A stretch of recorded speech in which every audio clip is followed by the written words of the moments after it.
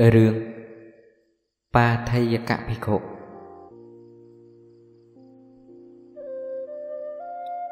ព្រះបរមសាស្តាទ្រង់ប្រពនៅពួកភិក្ខុបាថយកៈ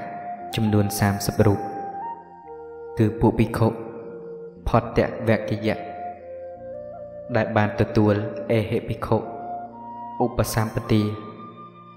នៅក្នុងបឋមពោធិកា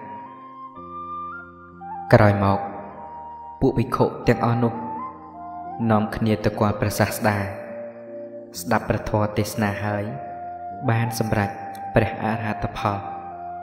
អស់កិលេសពីខណ្ឌសន្តានគ្រប់គ្រប់រូបពួកភិក្ខុដតីទៀតបានពោលសរសើរថាពួកភិក្ខុទាំង30រូបនេះ បានសម្រេចព្រះអរហត្តផលយ៉ាងឆាប់រហ័សក្រៃពេកណាស់ ព្រះសាស្តាទ្រង់ត្រាស់សម្ដែងនៅព្រះគាថានេះថាបហុតតំពិជេវញ្ញូ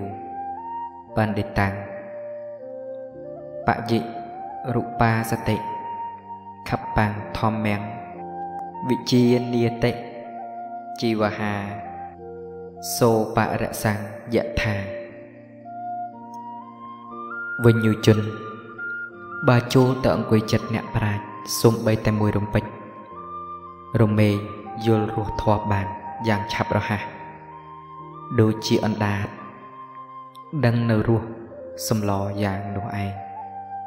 សូមអនុមោទនា